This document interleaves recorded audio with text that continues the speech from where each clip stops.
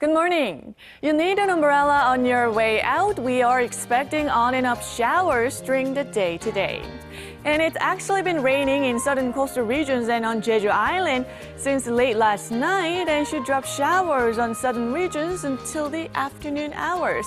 And starting in the afternoon, the entire nation could receive passing showers along with thunder and lightning at times. And Seoul is expected to see rain in the mid-afternoon until 9 p.m. and it could rain quite heavy in the evening hours.